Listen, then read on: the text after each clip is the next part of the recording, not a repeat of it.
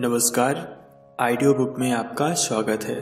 भारतीय राज्य व्यवस्था के इस अंश में हम राष्ट्रीय मानव अधिकार आयोग, यानी नेशनल ह्यूमन राइट कमीशन के बारे में जानेंगे। तो चलिए शुरू करते हैं। राष्ट्रीय मानव अधिकार आयोग की स्थापना। राष्ट्रीय मानव अधिकार आयोग एक संबंधित निकाय है, यानी एक ऐसा निकाय जिसकी स्थापना संविधान द्वारा नहीं की गई है। इसका गठन संसद में पारित अधिनियम के अंतर्गत हुआ था, जिसका नाम था मानवाधिकार संरक्षण अधिनियम उन्नीस सौ तिरानवे। वर्ष 2006 में इस अधिनियम में संशोधन किया गया।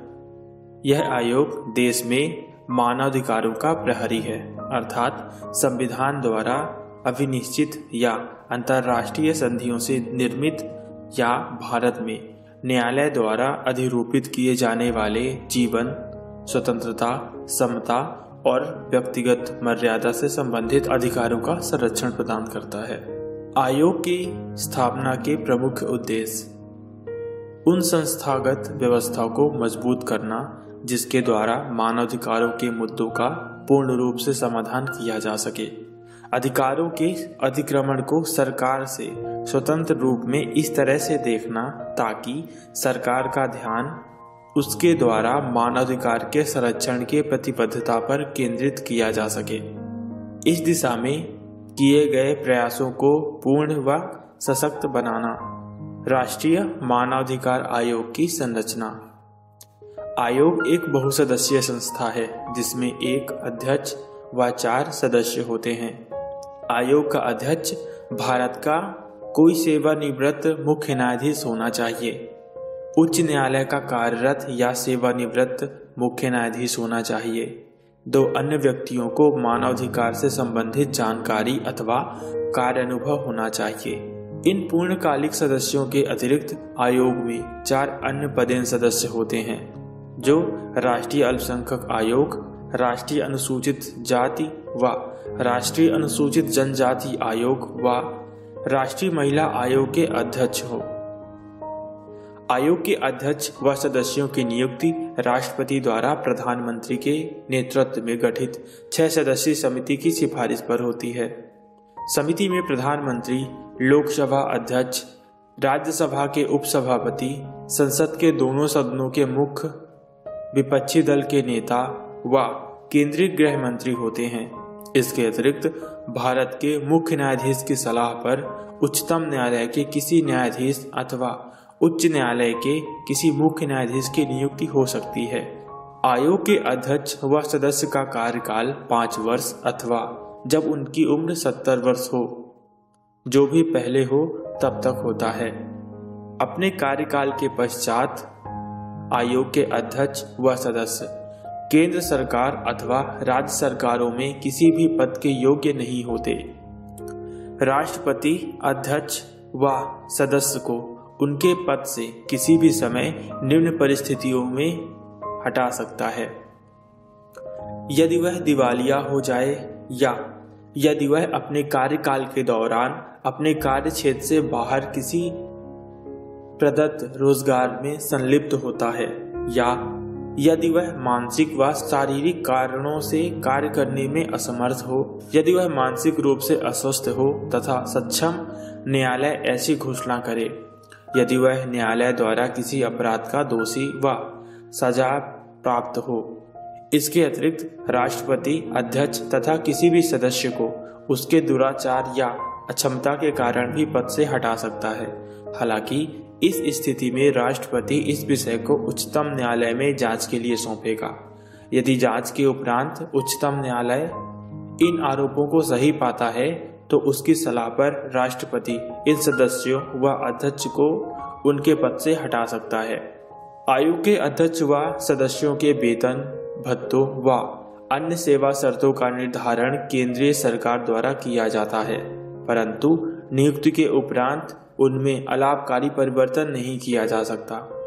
उपरोक्त सभी उपबंधों का उद्देश्य आयोग की कार्यशैली को स्वच्छता स्वाधीनता तथा निष्पक्षता प्रदान करना है। आयोग के कार्य।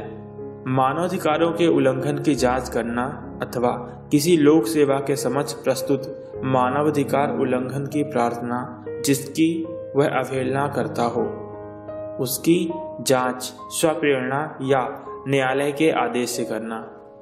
न्यायालय में लंबित किसी मानवाधिकार से संबंधित कार्यवाही में हस्तक्षेप करना, जेलों व बंदी गृहों में जाकर वहाँ की स्थिति का अध्ययन करना व इस बारे में सिफारिश करना। मानवाधिकार की रक्षा हेतु बनाए गए संवैधानिक व विधिक उपबंधों की समीक्षा करना तथा इसके प्रभावी कार्यान्वयन हेतु उपायों की सिफारिश करना।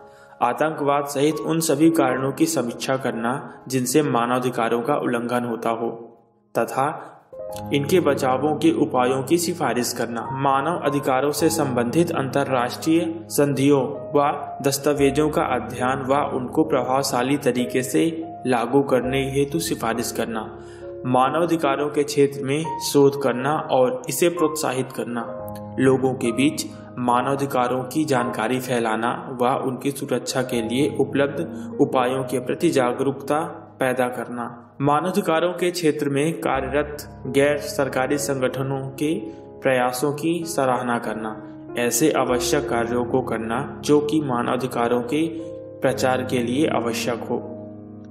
आयोग की कार्य प्रणाली आयोग का प्रधान कार्यालय दिल्ली में स्थित है तथा वह भारत में अन्य स्थानों पर भी अपने कार्यालय खोल सकते हैं। आयोग की अपनी कार्य प्रणाली है तथा वह यह करने के लिए अधिकृत है। आयोग के पास सिविल न्यायालय जैसे सभी अधिकार व शक्तियाँ हैं तथा इसका चरित्र भी न्यायिक है। आयोग केंद्र अथवा राज्य सरकार से किसी भी जानकारी अथवा रिपोर्ट की मांग कर सकता है। आयोग के पास मानवाधिकारों के उल्लंघन से संबंधित शिकायतों की जाँच हेतु एक स्वयं का जाँच दल है। इसके अतिरिक्त आयोग केंद्र अथवा राज्य सरकार की किसी भी अधिकारी या जाँच एजेंसी की सेवाएँ ले सकता है। आयोग व गैर सरकारी संगठनों के बीच एक प्रभावशाली सहभागिता भी है, जो प्रथम दृष्टिय मानवाधिकार उल्लंघन की सूचना प्राप्ति में सहायक है। आयोग ऐसे किसी मामले की जाँच के लिए अधिकृत नहीं है, जिसे घटित हुए एक वर्ष से अधिक हो गया हो। दूसरे शब्दों में, आयोग उन्हीं मामलों की जाँच कर सकता है, जिन्हें घटित हुए एक वर्ष से कम समय हुआ हो। आयोग जाँच के दौरान या उपरांत निम्न में से कोई भी कदम उठा सकता है। यदि पीड़ित व्यक्ति को क्षतिपूर्ति या नुकसान के भुगतान के लिए संबंधित सरकार या प्राधिकरण को सिफारिश कर सकता है, पीड़ित व्यक्ति को क्षतिपूर्ति या नुकसान के भुगतान के लिए संबंधित सरकार या प्राधिकरण को सिफारिश कर सकता है। यह दोषी लोक सेवक के विरुद्ध बंधीकरण हेतु कार्यवाही प्रारंभ करने के लिए संबंधित सरकार या प्राधिकरण को सिफारिश कर सकता है। यह संबंधित सरकार या प्राधिकरण को पीड़ित को तत्कालिक अंतरिम सहायता प्रदान करने की सिफारिश कर सकता है। आयोग इस संबंध में आवश्यक निर्देश, आदेश अथवा रिट के लिए उच्चतम अथवा उच्च न्यायालय में जा सकता है। आयोग की भूमिका। उक्त बिंदुओं से स्पष्ट है कि आयोग का कार्य वस्तुतः सिफारिश या सलाहकार का होता है। आयोग मानवाधिकार उल्लंघन के दोषी को दंड देने का अधिकारी नहीं होता। न ही आयोग पीड़ित को किसी प्रकार की सहायता जैसे आर्थिक सहायता दे सकता है। आयोग की सिफारिशों संबंधी सरकार अथवा अधिकारी पर बाध्य नहीं है। परंतु उसकी सलाह पर की गई कार्यवाही पर उसे आयोग के एक महीने के भीतर सूचित करना होता है। इस संदर्भ में आयोग के एक भूतपूर्व सदस्य ने यह पाया कि सरकार आयोग की सिफारिशों को पूर्णतः नहीं नकारती है। आयोग की भूमिका सिफारिशें व सलाहकारी हो सकती हैं, तथापि सरकार आयोग द्वारा दिए गए मामलों पर विचार करती है। इस प्रकार यह कहना व्यर्थ होता है कि आयोग शक्ति विहीन है। आयोग अपने अधिकारों का पूर्ण रूप से प्रयोग करता है और कोई भी सरकार इसकी सिफारिशों को नकार नहीं सकता। सशस्त्र बल के सदस्य द्वारा किए गए मानवाधिकार उल्लंघन के मामलों में आयोग की भूमिका, शक्तियाँ व न्यायिकता सीमित होती है। इस संदर्भ में आयोग केंद्र सरकार से रिपोर्ट प्राप्त कर अपनी सलाह दे सकता है। केंद्र सरकार को तीन महीने के भीतर आयोग की सिफारिश पर की गई कार्यवाही के बारे में बताना होगा। आयोग अपनी वार्षिक अथवा विशेष रिपोर्ट केंद्र सरकार व संबंधित राज्य सरकारों को भेजता है। इन रिपोर्टों को संबंधित विधायिका के समक्ष रखा जाता है। इसके साथ ही वे विवरण होता है। इसके साथ ही वे विवरण होते हैं, जिनमें आयोग द्वारा की गई सिफारिशों पर की गई कार्यवाही का उल्लेख तथा ऐसे किसी सिफारिश को न मानने के कारणों का उल्लेख किया जाता है। आयोग का कार्य निष्पादन। आयोग ने मानवाधिकार संबंधी अनेक विषय हाथ में लिए हैं। जो निम्न प्रकार है, जैसे बधुआ मजदूरी की समाप्ति, रांची, आगरा और ग्वालियर में मानसिक अस्पतालों का संचालन। आगरा स्थित सरकारी सुरक्षा गृह जो महिलाओं के लिए है, उसका संचालन। भोजन का अधिकार से संबंधित मुद्दे। बाल विवाह रोक अधिनियम उन्नीस की समीक्षा। बाल अधिकार पर अभी समय से संबंधित प्रोटोकॉल। सरकारी सेवकों द्वारा बच्चों को रोज़गार में जाने से रोकना। सेवा नियमावली में संशोधन, बाल श्रम की समाप्ति, बच्चों के खिलाफ यौन, हिंसा व मीडिया के लिए मार्गदर्शिका महिलाओं एवं बच्चों का अवैध व्यापार, लैंगिक संवेदीकरण के लिए न्यायपालिका के लिए नियम, यौन पर्यटन एवं अवैध व्यापार के रोक के लिए संवेदीकरण कार्यक्रम, मातृत्व, रक्ताल्पता वृद्धावन वृंदावन परित्याग महिलाओं का पुनर्वास। कार्यस्थलों पर महिला यौन उत्पीड़न को रोकना। रेलगाड़ियों में महिला यात्रियों का उत्पीड़न। हाथ से मैला साफ़ करने की प्रथा का अंत। दलितों से संबंधित मामलों, उन पर किए जाने वाले अत्याचार सहित। अधिसूचित तथा घुमंतु जनजातियों की समस्याएँ, विकलांग व्यक्तियों के अधिकार, स्वास्थ्य के अधिकार से संबंधित मामले, एचआईवी एड्स संक्रमित व्यक्तियों के अधिकार। 1999 में उड़ीसा में आए चक्रवाती तूफ़ान से प्रभावित लोगों के लिए राहत कार्य। 2001 के गुजरात भूकंप के बाद राहत उपायों का अनुश्रवण। जिला परिवार प्राधिकरण जनसंख्यिकी नीति विकास एवं मानवाधिकार कानूनों की समीक्षा, आतंकवाद एवं विघटनकारी गतिविधि अधिनियम तथा आतंकवाद निवारण विधेयक 2000 संहिता विद्रोह एवं आतंकवाद प्रभावित क्षेत्र में मानवाधिकार संरक्षण, पुलिस द्वारा गिरफ्तारी में शक्ति का दुरुपयोग रोकने के लिए दिशा निर्देश राज्य नगर पुलिस मुख्यालयों में मानवाधिकार सेवा का गठन, हिरासत में मौत, बलात्कार या यांत्रणा को रोकने के लिए उठाए गए कदम।